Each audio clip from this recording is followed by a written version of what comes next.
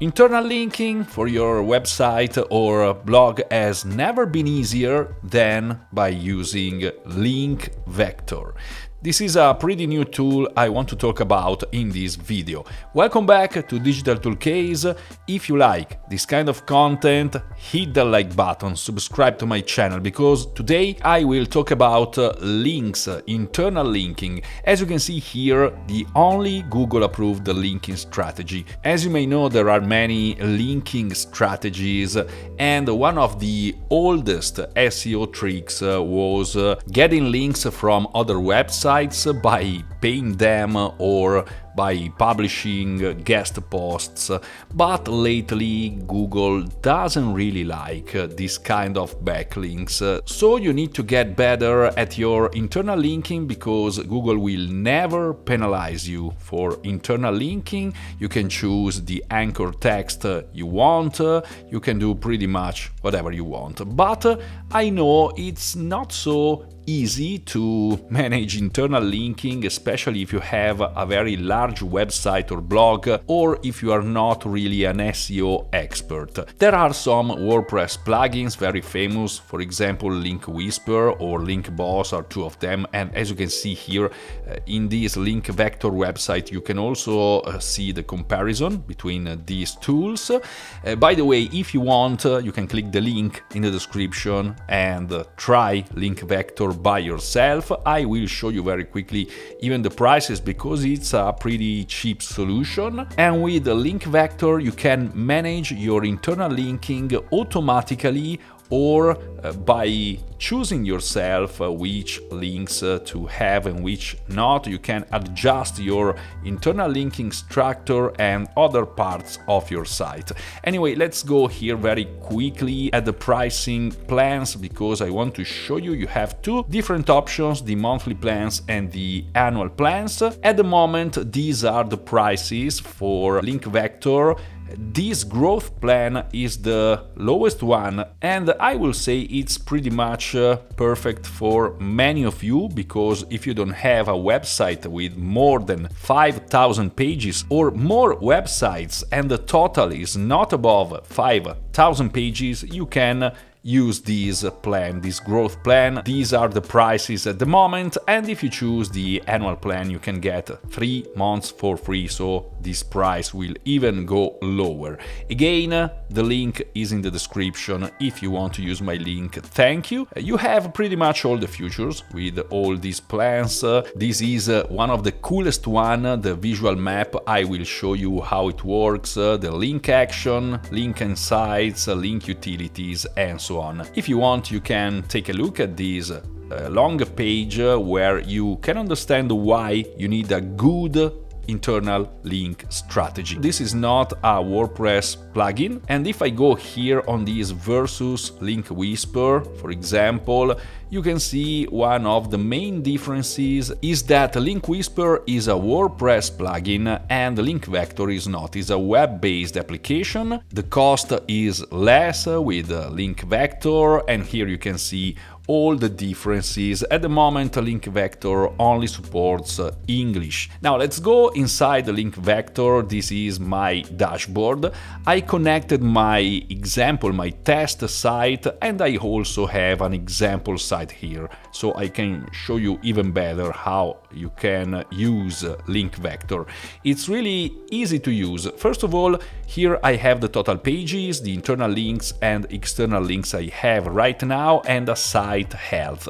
If I click on my test site here, I can go into this link actions section. As you can see, I have some little issues. This is my score for the site health because I have one page with links using HTTP. I can fix it from here, but in this case, it's just my cookie policy. I suppose is one of the link included in my cookie policy in this case.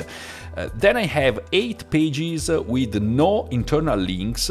If I click on this fix issues, I can see it's uh, the about us page, the blog page, the contact us, and so on. But I even have uh, some uh, articles. I then have three pages with low internal links and here they are and then I have 23 pages with slow loading speed. This is something I can't fix uh, directly here, as you can see, can't be resolved automatically, requires manual intervention, so I need to optimize my site speed in this case. Anyway, I have these site structure and technical SEO issues, I have content optimization, here for example it says I have one page with no meta description and so on, Anchor text optimization, 5 pages have links with weirdly long anchor text. Again, if I click on fix issues, I can see my anchor text uh, and my links. And I also have a link ecosystem management with three issues. One page have high link density because obviously you need to correct link density in this case, it's my HTML sitemap, so I think this is not uh, really an issue. 20 links have the opportunity for deep linking, Again, I can go here and see all the details. I have my page, my outgoing links, uh, the anchor text, uh, and I can just fix uh, by clicking this button. This will be automatically fixed on my website because it's connected. This is very cool and very useful. I can also go to this auto linking section and here I have a list with all my pages and articles, the published date, the page link score, the incoming links and outgoing links for each page with some action I can do from here. I also have some filters. On this blog I don't have pillar pages at the moment, but if you want you can filter by pillar pages or by orphan pages.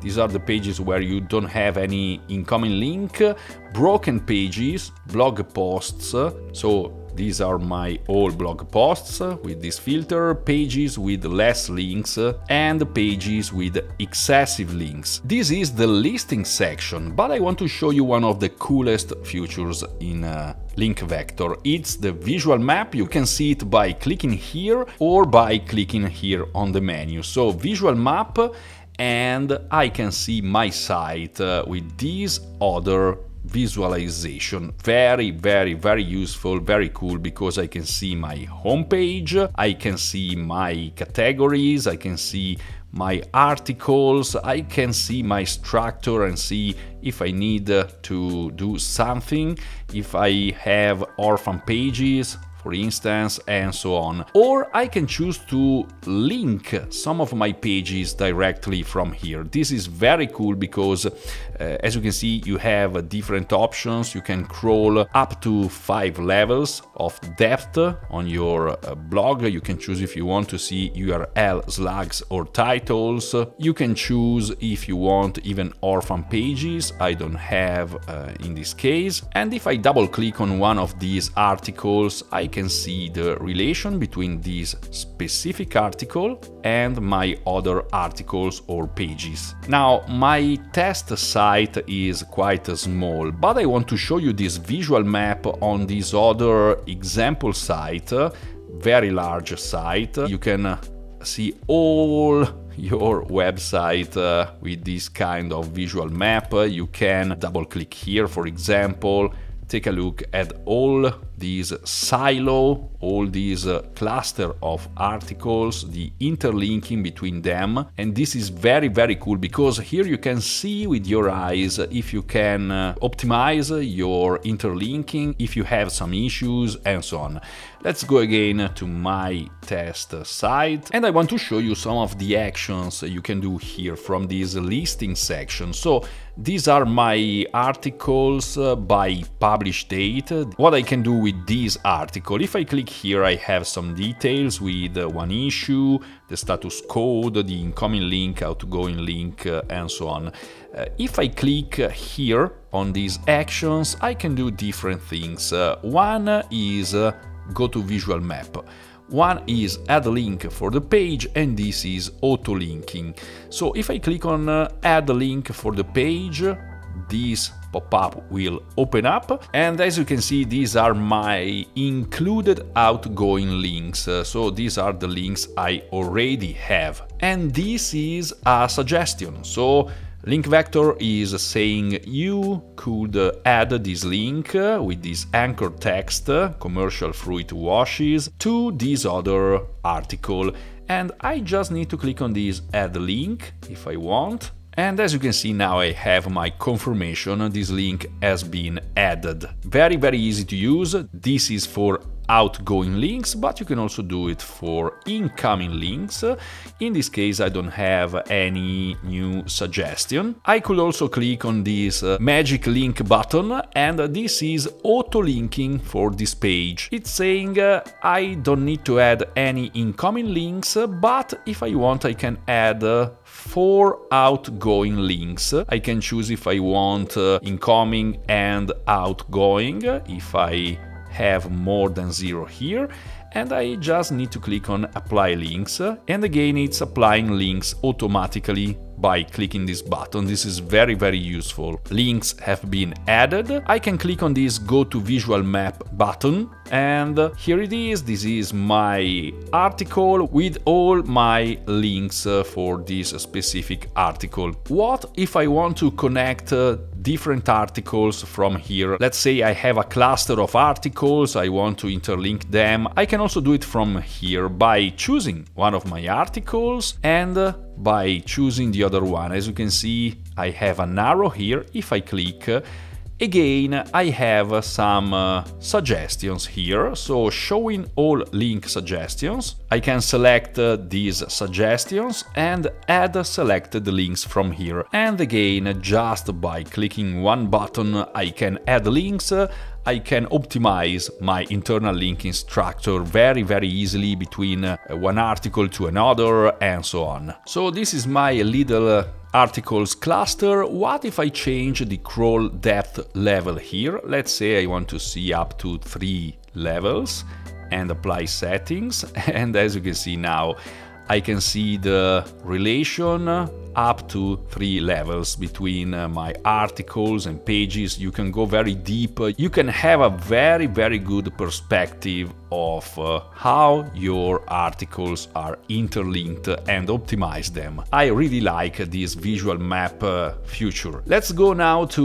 link insights site overview. I can have a graphic chart of uh, all my important metrics here with internal linking distribution, page distribution, and again the crawl depth, uh, internal link uh, versus external link and so on. I can see my domains. Uh, these are all the external domains I'm linking to on my website and I can also see my anchor text. I can group by target URL. I can uh, filter by whatever I want here. And here are my anchor text, so this is very useful to take a look at your site anchor text. By clicking here you can see some details, you can even remove your links from here. Then you have your link utilities with link replacement. This feature is useful if you want to search and replace links or anchor text. If you have a very large site, you need to change many links at one time, maybe you have some 404 uh, issues uh, with uh, linking, maybe you want to change some specific anchor text uh, in bulk, you can replace obsolete, redirected, broken internal, external links very easily with this feature. You just need to click on this uh, start first replacement. You can search by URL, you can replace a specific anchor text and so on. And you also can create link rules. This is very, very useful if you want to automate your interlinking structure structure because you can easily manage and insert links using link rule, automatically apply link rules to new content when you publish it, get suggestion for specific pages to apply rules, and track all applied rules in a convenient table for easy reference. Let's say I want to create a rule for essential oil, I can choose if I want an exact match, contains, starts with, ends with, or you can even generate custom regular expressions here. So imagine you have a pillar page where you maybe have the best uh, essential oils, you want to point to this page whenever you write a new article and you write these specific words into your new article, then here you can include your page. Let's pretend I have this specific page. So each time I will use these uh,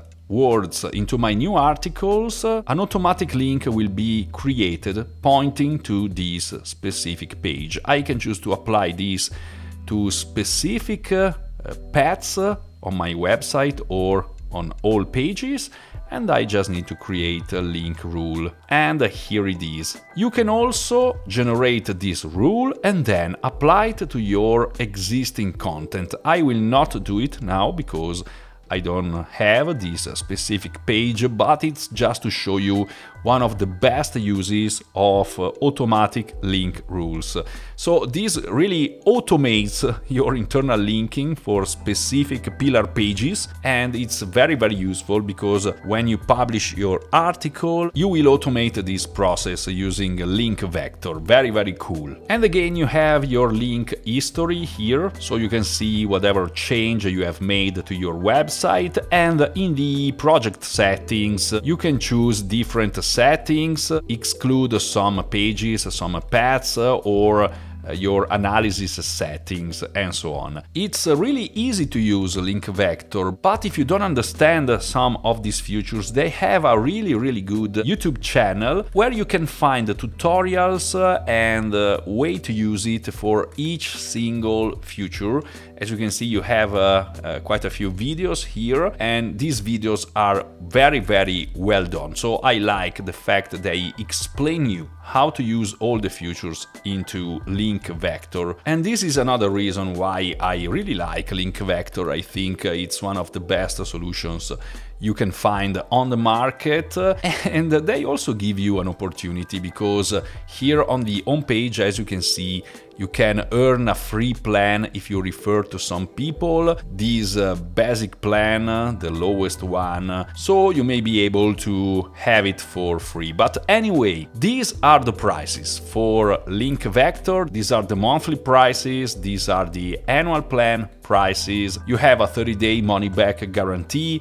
It's a very easy to use very fast tool so i highly suggest you to try it out. If you want to optimize your internal link structure on your website or more than one website because you can connect even more than one. As you can see here, unlimited domains, all CMS are supported, 36 features, uh, up to 5000 pages in this case, or if you need more, you have these higher plans. So that's it, this is Link Vector. I hope you enjoyed it, I hope this video was helpful for you. If so, click on the like button and subscribe to my channel because maybe I will do other videos about uh, link vector. Thank you very much for being here until now. You can click here if you want to watch for my other contents and as always, I'll see you soon in the next video.